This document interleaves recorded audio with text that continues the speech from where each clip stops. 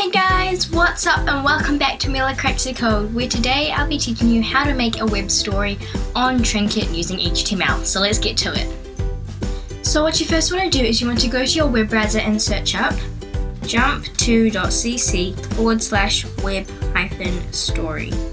This will take you to Trinket where you'll then get started on it. As you can see here they have the script and then you have the product.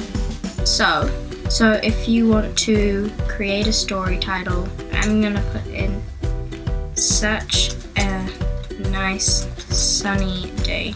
That should come up.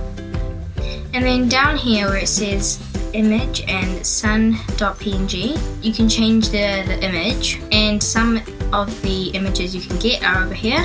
And then where it says this, add your own text, you'll change it to your first sentence of your story.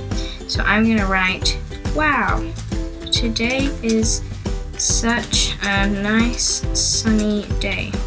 That should come up. And to get your next picture, what you want to do is you want to copy and paste this here and paste it.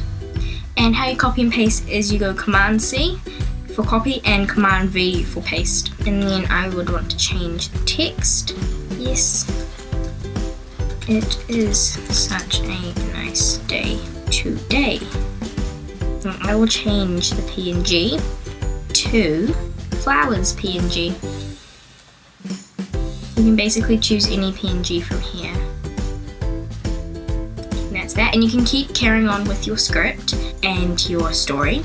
And then over here, they have the background color, which is white. And then they have the border, which is this bit here is solid black, so you can change that color. You can also change the font and style it how you want.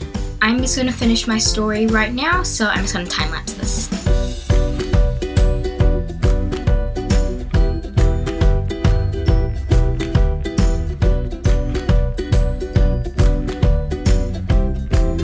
As you can see, I have now finished my comic story and what it is is there is a sun, some flowers, rainbow, a boy, a girl, a robot, and a spaceship.